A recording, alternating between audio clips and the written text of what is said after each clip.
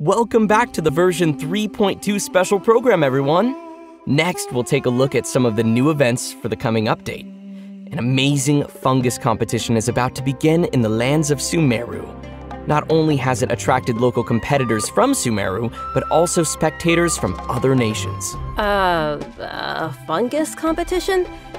Uh, how does that even work? Aren't fungi dangerous? They're always attacking us in the wild.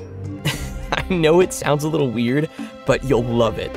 In this contest, participants will use a special gadget called a Wisdom Orb to catch and train their fungi and participate in battle events. Although the fungi often pose as little troublemakers for us in the wild, using this gadget will allow travelers to establish a certain level of communication with them. Okay, so if I catch and train a Jade Plume Terror Shroom, then I should be pretty much unstoppable, right? Oh no, come on, that wouldn't be fair. in this event, travelers will be able to sneak up on fungi in some certain areas to catch them.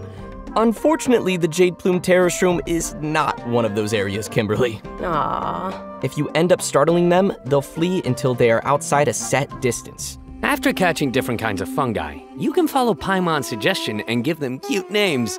But most importantly, you will have to train your fungi. That sounds fun. Travelers will have to use special floral jelly ingredients to mix and form blends that your fungi enjoy and unlock their true potential. While mixing ingredients, you use copy, switch, and rotate functions, and place a preset formula you have in the corresponding spot. Aw, looks kinda like jelly. I bet Paimon's gonna be all over that. Hey, well, I can tell why you didn't book that role. and with all these different kinds of fungi, they should have different abilities, right? Yeah, so to work on their abilities, we'll use something called the Special Training Mode. In this mode, there will be two challenge types coordinated assaults and zone defense. Travelers will be able to command their fungi's abilities, have them coordinate their attacks against a single target, and control them to defend the leyline monolith. Aw, they're so cute. This is gonna be so much fun. I can't wait. Yeah, me neither.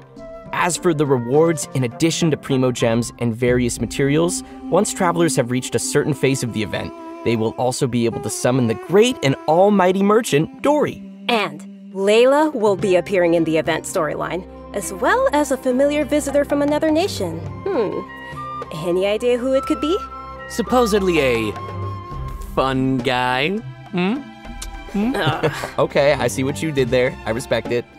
Hmm. Let's leave that for travelers to discover themselves in the event.